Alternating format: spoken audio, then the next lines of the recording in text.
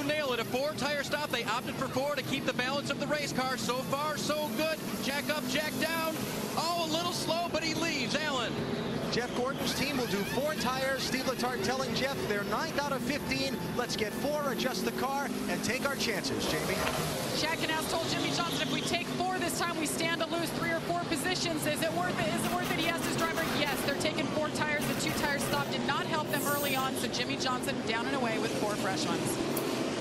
Race off of pit road. Newman becomes a leader up five spots at 15.8 second stop costs Kyle Busch some positions. Back in just a moment. ESPN's coverage of NASCAR Nextel Cup Series on ABC. Brought to you by Napa Auto Care Centers. Napa, get the good stuff. And Toyota, moving forward. Setting up here for a good old Texas style shootout here. Jeff Gordon, the 24 car, being shown back in 10th position now. A moment ago, coming out of the pits, a near miss. Let's listen. See, they're getting four tires here. They're changing these lefts and they're getting ready to come down off the jack.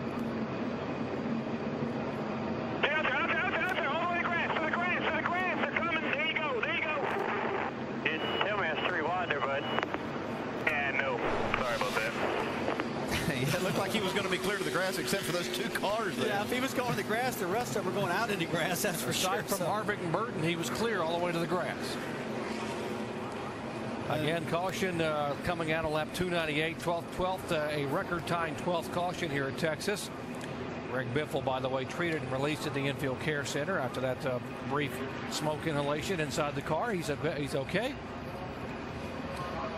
Now we're talking about some of the downforce on these cars and how the balance is so critical to be able to get laps turning well here in this mile and a half track. Let's show you what we're talking about. Let's take a look at Jeff Burton's number 31 and Ryan Newman's number 12. They're both clean air, got downforce in the back. And watch this. Jeff Burton pulls up and as soon as he gets behind Ryan Newman. Ooh, completely gone. Now he doesn't have much downforce in the back, and now Ryan Newman doesn't have anything back there. Kurt or Jeff Burton doesn't have anything in the front of his car. But if you get a little farther back like that, you get the downforce back. So when you get that close, both, it really hurts both of you. It hurts the back of Newman, hurts the front of Jeff Burton. 30 laps to go.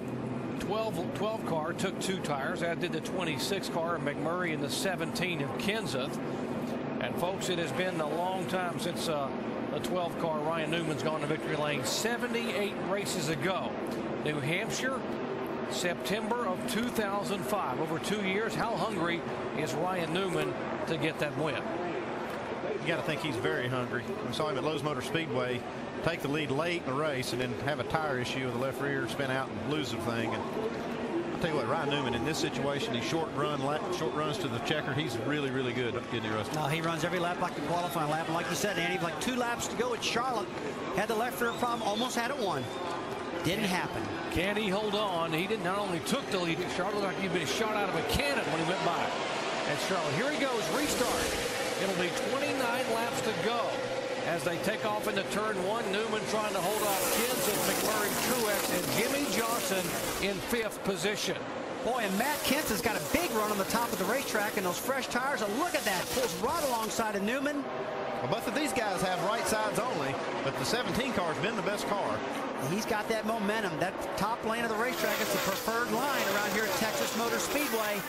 And Matt Kenseth uses that to his advantage and pulls away right now from Ryan Newman. He figured out a little trick on these restarts how he could run wide open through one and two on that first lap. And he just kind of snuck up on these guys and caught them by surprise. Well, he's done it once now. Now he's got the confidence that he can do it again, Andy. You're exactly right. And he did it again just now. It paid off for him. 99 car of Edwards is the lap car, as is the 9 car of Casey Kahne. Kahne back in 18th spot. Here's the 1 and 26, the Truex and uh, McMurray cars. They are battling for third position. Truex just takes it away. Yeah, this one car is the first car that has four tires. The 48 car also got four tires, so these guys are going to try to run these guys down with these two tires. It's going to be interesting to see if they can do it. Boy, Martin Truex has got to be feeling great right now, knowing the rest of the guys got the two, and he's got four, Andy. I mean, that is a great feeling for a driver. But can he get past the traffic? And will the clean, dirty air versus the clean air hurt him. We're going to see Matt Kenseth just ran one of the fastest laps of his race, even on those just right side tires, 29 flat. That's a great lap. That's about three tenths faster than the guys behind him. Now he's a dirty air that the number one car Martin Truex is in right now. That's a bad thing, but when he's got four tires, that can make up some of the aerodynamic disadvantage that he's in right now. So he's got to take advantage of that and get it done now. Got 26 laps to do it too, and I think if those four tires are going to help, it's going to take a little time to make it to make this move. He's got 26 laps to do it, plenty of time. Here's the five car, Kyle Busch. Remember, he was a leader and that 15.8 second pit stop, cost him a lot of positions. Now he is trying to reel them in. Busch is led by far the most laps today, 153 laps. So he's trying to get there, and as is the two car of Kurt Busch back in seventh position. Now make it sixth. Boy, you got to hand up to Jamie McMurray. He's done a great job this afternoon with Larry Carter as crew chief. They've played everything perfect right now. He's in the seventh position. Late in the race, 25 laps ago, he's positioned his car in a perfect time. Great job by Larry Carter. But the fastest car the last two laps has been this 48 car. You see him now moving underneath the one car. Man, this guy just gets it done. When it's time to go, he knows how to do it. Jimmie Johnson finished 38th here in April a victim of an early incident, has never won at this racetrack. In fact, Jimmie Johnson has not won at any of the final three tracks, here, Phoenix, or Homestead. Guys, this is unbelievable. He wins Martinsville. He wins Atlanta. And now he's running third, and he's mowing them down. Two-tenths of a second faster this last time by. The last three laps, he's the fastest car on the racetrack. Look at how he closed on Newman, like Newman was just sitting still. Now where do you go? But Jerry, you just go around them because when you got that fresh tires and that car's that quick, you can almost put that car wherever you want right now. He's not going to stick behind him, that's for sure. He's going to go to the bottom or he's going to go to the top because he doesn't have time to waste right now. Laps are winding down, folks. We're going to take one final break and come back and carry it to the checkered flag. Can Kenseth hang on? Will Newman or Johnson get there? We'll find out in a moment.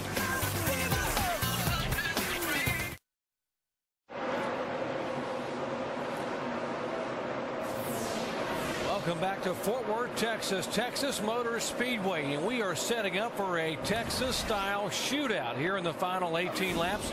17 car Matt Kenseth is the leader, but folks, Jimmie Johnson in the 48 car is a man on a mission. Can you believe this? The 48 car week after week of Jimmy Johnson running down Matt Kenseth right now with 17 laps to go. And Andy, look at the speeds. What are they? I mean, it's mile and a half an hour faster than Kenseth at the moment. He's been consistently outrunning Matt Kenseth two tenths to a, you know a tenth and a half a lap. Looks like it's just a matter of time before he runs him down here. And what did he just say? Go get us some cowboy hats? Yeah, that's what you get for, for winning here. You go to Victory Lane and put on the cowboy hat. You get to go down and visit with Eddie Gossage and have all the cowboy hats on. They put a holster on you. It's a Texas race. Not folks. only that, it's the biggest purse of any of these chase races the, that these guys are going for. Yeah, that's all I'd say right now because the fat lady hasn't sung yet, man. You don't get too confident. And he is a chase contender. Don't do anything crazy. You don't want to get loose underneath. Matt Kenseth's trying to take the lead. And it looks like he's going to go to the bottom and try to get it done. Can't say it enough. It was here a year ago that Jimmie Johnson finally took the lead in the chase standings for the first time in 2006. And he never looked back. He held on at Phoenix and Homestead to become the 2006 NASCAR Nextel Cup champion. He came into the day nine points behind his teammate Jeff Gordon. And right now, he is 15 points ahead of Gordon in the standings. It looks like Matt Kenseth learned something when he was racing that 11 car because he was, you know, working the top of that racetrack seemed to be an advantage for him. But, uh, you know, it's interesting to see how he'll do that with this 48 car. But the 24 car is moving up, too. He took four tires, and he started to pass some cars. Started 10th on the restart. Now he's seventh. Yeah, Jeff Gordon up on the wheel. Remember what happened last week in Atlanta? Gordon started picking him off here and late in the race. So don't give up on Jeff Gordon yet. Up in seventh in the points and just a 15-point separation. Now here's what I'm seeing though, guys. Matt Kenseth leading the race, and Jimmie Johnson's caught him. He's in the dirty air, and Andy's losing speed now. He's almost a tenth of a half second slower than Matt these last two laps. Speak outside. If you look side, you tell me. Don't want him outside of me, And Kenseth's driving aggressive, and he's driving defensively also. He's taking his line away, and Jimmie just can't catch him now. What Matt's saying, you know, I think Matt wants to run the bottom to run fast laps, but he doesn't want that 48 on the outside of him. He said, don't, Bob, don't let him on the outside of me. Right now, you saw the 48 just come off a turn two and really kick the back of the car out. He got loose that time. And look at the 17 pulling away in the center of the corner. So the dirty air is really playing a big effect on Jimmie Johnson right now. Yeah, because Jimmie ran him down two tenths, a good solid two tenths a lap, all the way till he, till he got to the bumper. Now he's not even as fast as Matt Kenseth. In fact, this last time by, the leader, Matt Kenseth, with 30.66 to Jimmie Johnson's 30.80. So definitely slower. And Jimmie's going to have to get something done quick now because this he's going to tear his tires off this car trying to get around him. You see the car wiggling around now, exiting the corners. I really think Matt Kenseth learned something while he was racing Denny Hamlin in that 11 car. That's going to pay off for him right here. Boy, catching a guy's one thing, passing him's another. And aerodynamics is crazy, man. It just really affects these cars big time. Okay, you got 10 laps to go, Rusty, and you're sitting here in Jimmie Johnson's spot. What are you doing? What are you going to try to do to get by? Right now, I'm going to the top of the racetrack. I'm going to try to build the momentum, Andy. Soon as, oh, Kenseth gets loose. 10 laps to go this time by. You can tell they're both trying to drive like it's a qualifying lap. If I was Jimmie Johnson, I'd go to the top, I'd get this bumper, have the momentum, and try to dive underneath them. Try to drag race them down the front straightaway and use that momentum, exiting the corners as an advantage. Okay, you know, we talked about it early, maybe even in the pre-race show, Rusty. I think I heard you say, are these guys going to be racing each other or are they going to be racing for wins? What do you think Jimmie Johnson's doing right now? Well, I think he's racing for a win right now. He definitely knows where Jeff Gordon is, but he's not racing Jeff Gordon right now. He's racing Matt Kenseth, and he's doing a smart job. 10 laps to go. Matt Kenseth, 2003 Cup champion, trying to hold off the reigning Cup champion. And margin coming down just a slight amount there. Will traffic be a factor? They're going to move in on some uh, other cars here in the next three to four laps.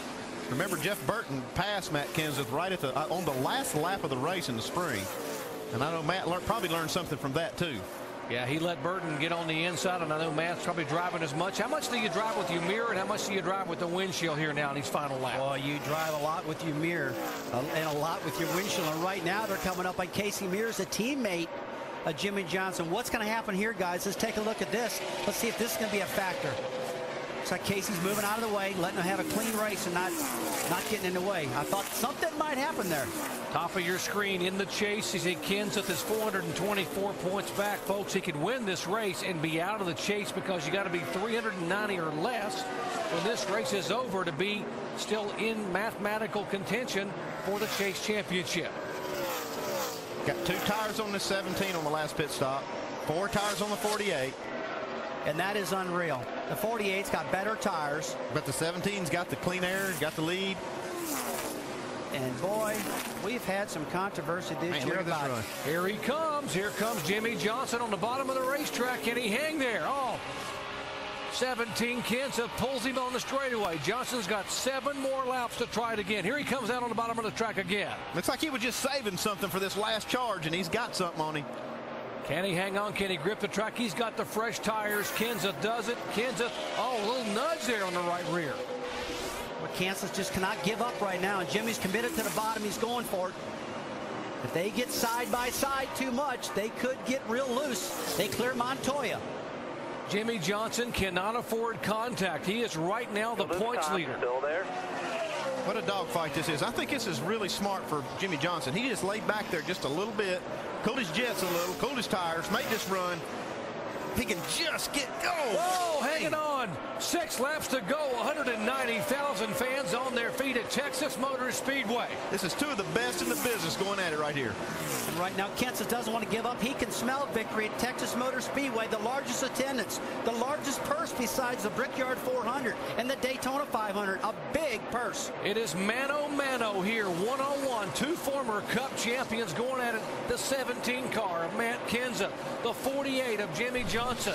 And here a moment ago was the contact. Watch the right rear wall. Watch the 17 car get out of shape. There was almost contact there, Jerry. He got big time out of shape and stayed in the throttle, kept the momentum, and look at him outrunning Jimmie down the front straightaway.